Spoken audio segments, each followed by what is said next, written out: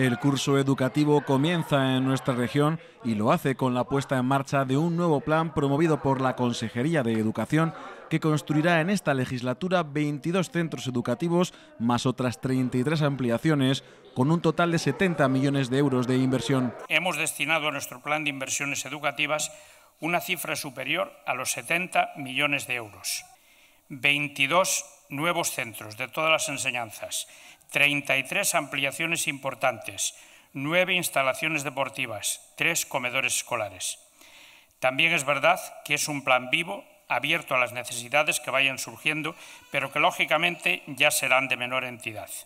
67 grandes actuaciones, de las que 8 serán en Albacete, 13 en Ciudad Real, 14 en Cuenca, 8 en Guadalajara y 24 en Toledo. Desde el Gobierno regional se hace este anuncio en el primer día de curso de Castilla-La Mancha que el presidente ha vivido en la localidad conquense de Las Mesas.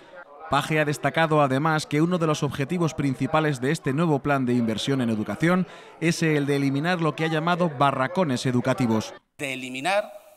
los barracones educativos que no es que sean aulas tercermundistas, en realidad son aulas en su conjunto dignas, pero creo que tenemos que aspirar, antes que a otras muchas reclamaciones, y este es el objetivo central de este plan, a que no haya niños en esta región que a lo largo de todo su periodo educativo no han visto un ladrillo, como, como Dios manda. Paje ha pedido además al Gobierno central la convocatoria urgente del Consejo de Política Fiscal y Financiera para evitar que se use la educación y sanidad en las comunidades autónomas como moneda de cambio y ha pedido el apoyo de los diputados en las Cortes Regionales a los presupuestos de Castilla-La Mancha. Le voy a pedir a todos los diputados autonómicos que se quiten la venda electoral y política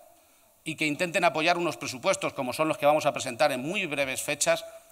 que sobre todo recogen una apuesta notable por la gente que más lo necesita. El plan de inversión en educación que se aprobará mañana en Consejo de Gobierno creará también cientos de empleos, según ha indicado Emiliano García Paje.